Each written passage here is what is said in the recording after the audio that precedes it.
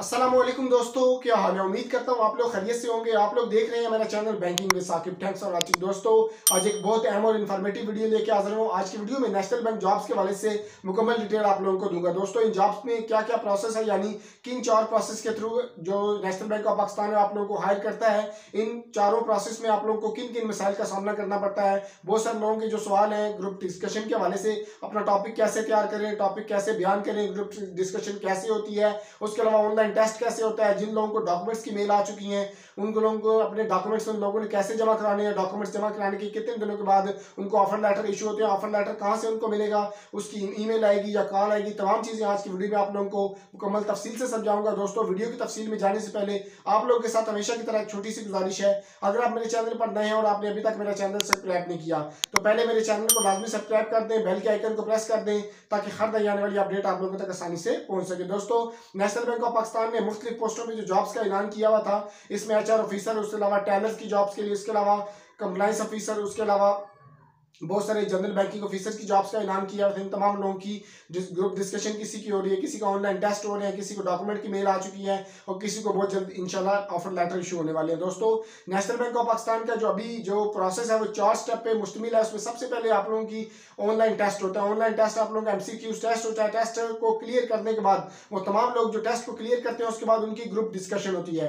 Group discussion में आप लोगों को एक टॉपिक दे दिया जाता है। उस टॉपिक पे आप लोगों ने उसकी फेवर में या उसके अगेंस्ट आप लोगों ने बोलना ईमेल में आप लोगों को बता दिया जाता है। फलां डेट को आपकी जूम मीटिंग पे आप लोगों की टेस्ट होगा टेस्ट में आप लोगों ने अपना जो टॉपिक है, जो आपने तैयार करना है, वो आपने बयान करना है। आप लोगों को जो ग्रुप डिस्कशन में दो मिनट का टाइम आप लोगों को दिया जाएगा। दो मिनट वहाँ पे 20 से 30 लोग होंगे। 20 से 30 लोगों की ग्रुप डिस्कशन होगी। उसमें एक होस्ट होगा, वो आप लोगों के वन बाय वन आप लोगों के नाम पुकारेगा। उसके बाद आप लोगों ने अपने नंबर पे अपने जो टॉपिक है, उसको बयान करना है। दो मिनट का टाइम आप लोगों को दिया जाएगा। दो मिनट के अंदर अंदर आपने वो अपने टॉपिक को बयान करना है। दोस्तों, आपका जो, जैसे आप उसके ऊपर जूम मीटिंग पर लॉग करेंगे, एक बात याद रहे कि आपके मोबाइल का नाम आ रहा होता है। वहाँ पे आपने, वहाँ पे एडिट करके अपना नाम लिखना है ताकि जो होस्ट है वो आपका नाम पुकारे और आपके नाम पे आप लोगों की बारी आए, फिर आपने अपना जो टॉपिक है वो बयान करना है। दोस्तों, दो मिनट के अंदर अंदर आपने अपना टॉपिक बयान करना आपके जो जो आप लोगों को ईमेल में टॉपिक दिया गया है, वो आपने गूगल से या इसके अलावा मुख्तलिफ़ किसी भी वेबसाइट से आप वो टॉपिक तैयार कर सकते हैं। आपने जस्ट तीन से चार लेने को वो टॉपिक तैयार करना है। वो टॉपिक तैयार करने के बाद आप लोगों ने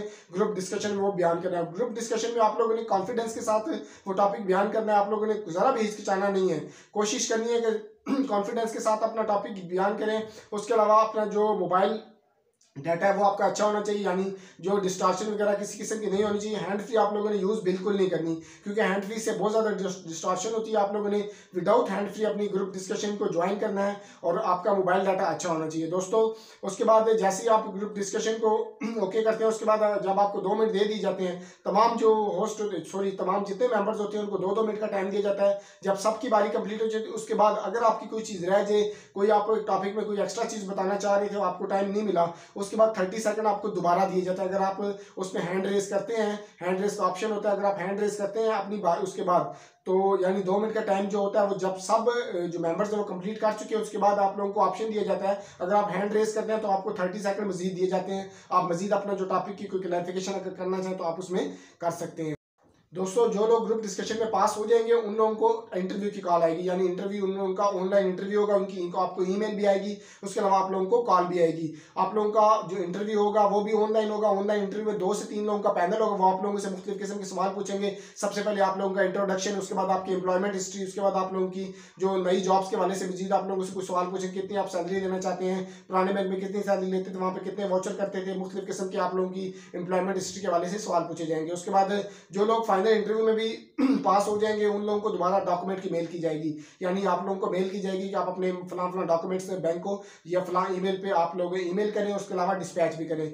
जो लोग डिस्पैच करेंगे उन डॉक्यूमेंट्स में दोस्तों, आप लोगों की एजुकेशन डॉक्यूमेंट, उसके अलावा आपके आपके एक्सपीरियंस लेटर्स वगैरह, उसके अलावा बैंक की तरफ़ से एक एम्प्लॉयमेंट फॉर्म होता है, वो भी आपने फिल करना है। फिल करने के बाद उसके ऊपर आप पिक्चर लगाएँगे। पिक्चर लगाने के बाद आप लोगों ने वो अपने एचआर ऑफ़िस की जो भी आपकी ईमेल आप लोगों को जिस ईमेल पे आप लोगों को डॉक्यूमेंट मांगे जाएँगे, उस ईमेल पे आप लोगों ने सेंड करना है, उसके अलावा डिस्पैच भी आप लोगों ने कर देने हैं। उसके बाद डॉक्यूमेंट डिस्पैच करने के बाद कुछ दिन बाद आप लोगों को ऑफ़र लेटर इशू हो जाएँगे। अभी रिसेंटली जिन लोगों को डॉक्यूमेंट्स की ई मेल आ उन लोगों को जो एचआर की इंफॉर्मेशन के मुताबिक आप लोगों को तकरीबन जो फेबरी के लास्ट में या मार्च के फ़र्स्ट वीक में आप लोगों को ऑफ़र लेटर इशू हो जाएँगे। ऑफ़र लेटर आप लोगों के जो अपने रीजनल ऑफ़िस है, वहाँ पे आप लोगों को भेजे जाएँगे। रीजनल ऑफ़िस से आप लोगों ने खुद जाकर वहाँ से ऑफ़र लेटर रिसीव करना है, उसके बाद आप लोगों ने वहाँ पे ज्वाइनिंग उसको एक्सेप्ट करके बैंक को देना और ज्वाइनिंग डेट आप लोगों ने लिखनी है, किस डेट को आप वहाँ पे ज्वाइन करेंगे। इस, ये था दोस्तों आसान तरीका नेशनल बैंक ऑफ़ पाकिस्तान की जॉब्स के हवाले से आप लोगों को मजीद कोई चीज़ आप पूछना चाहते हैं, मुझे कमेंट बॉक्स में लाजमी बताइएगा।